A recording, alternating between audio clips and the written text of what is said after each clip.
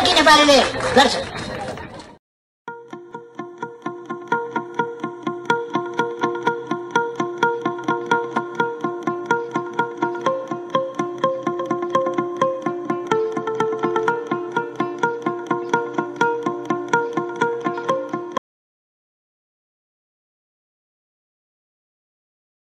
Hello नमस्कार साथीहरू। आज चाहिँ हामी यो मुडखुदेखि भ्यू टावर गोलढुङ्गाको भ्यू टावरसम्मको हाइक गर्दैछौँ।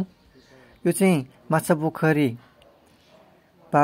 छ किलोमिटर छ गाडीमा बिस मिनट तर हिँडेर चाहिँ धेरै टाइम लाग्छ। त्यही भएर हामी चाहिँ अहिले यो हाइकिङ गर्ने भनेर यो मुडखुबाट उक्लेका छौँ। तपाईँहरू देख्न सक्नुहुन्छ गाउँघरका घरहरू गोरेटो यो चाहिँ तारकेश्वर नगरपालिकामा पर्छ यो गोलढुङ्गा भ्यू टावर। पाँचमा होला सायद। यो हाम्रो तारकेश्वरमा धेरै छ घुम्ने ठाउँहरू मनोरम ठाउँहरू जस्तै जितुर फेदी भुवनेश्वरी शान्तिधाम लगायत धेरै छन्। र आज चाहिँ हामी यो भ्यू टावर पनि घुम्यौँ भनेर अनि आफ्नै ठाउँलाई पहिला एक्सप्लोर गरौँ भनेर यहाँ चलिदिएको हो साथीहरू।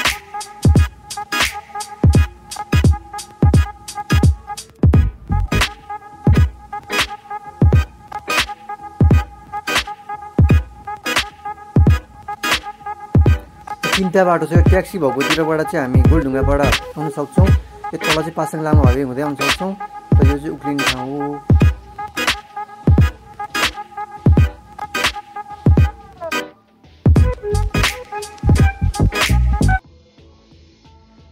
भ्यू टावरदेखि थालिसकेको छ। यो रोड हो उक्लिने। यहाँ पहिला यहाँ सुटिङ पनि हुन्थ्यो त्यो भद्रवलको। यो चाहिँ अहिले प्लटिङ गरेर पुरै पाडेको कलेजको हालत यस्तो छ पुरै प्लटिङका प्लटिङ भएको कारणले यस्तो छ अहिलेको अवस्था। नेपालको झन्डा फरफराइरहेको छ। ल माथि पनि आइयो। अब चाहिँ भ्यू टावर करिब करिब हामी आइसकेका छौँ। मकैको पाकेर पुरै झाडी छ यहाँ। र अब यहाँको नजरिया यस्तो छ काठमाडौँको पुरै ब्लर आइरहेको पुरै प्रष्ट आएन मेरो क्यामेरामा जुम चाहिँ खासै राम्रो नभए भएर यस्तो छ यो। हो चाहिँ हामी लगभग हाम्रो गन्तव्यमा आइसकेका छौँ। अब हामी बिस्तारै अब उक्लिँदैछौँ भ्यू टावरतिर। ल भ्यू टावर आइसकेका छौँ हामी। अब सुनसान खासै मान्छे रहन्छ आज। अब हामी बिस्तारै अब उक्लिँदैछौँ भ्यू टावर चढ्दैछौँ। टिकट काट्ने चाहिँ व्यवस्था रहन्छ आज चाहिँ यहाँ मान्छे रहन्छ। तर तल चाहिँ यस्तो रहेछ। टिकट काट्ने भनेर सा साथीहरूले भनेको थियो कुरा गरेको थियो तर टिकट चाहिँ मैले काटिनँ। म अब यतै उक्लिएँ अब सिधै मासतिर।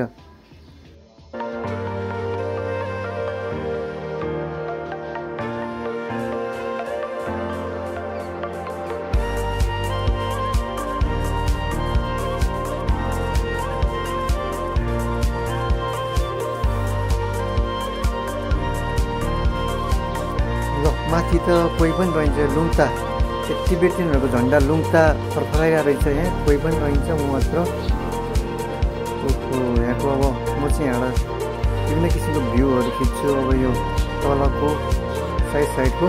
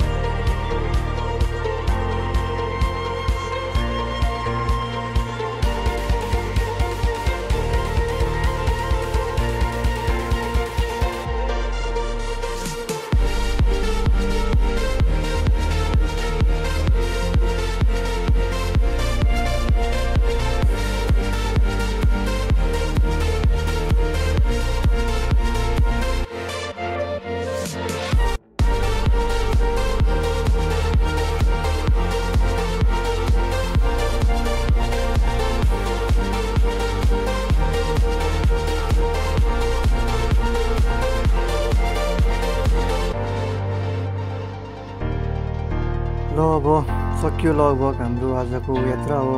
म जहाँबाट आएको अब त्यहीँबाट जाँदैछु। झन्डा झन्डा भाततिरबाट। मकै बारी बारी। झाडी चाहिँ अलिक चमल्के ल साथीहरू तपाईँहरू पनि आफ्नो ख्याल राख्नु होला मन परेमा च्यानललाई लाइक सेयर र सब्सक्राइब गरी। धेरै माया गर्नुभएको छ। अझै पनि धेरै माया दिनुहोला। जय नेपाल।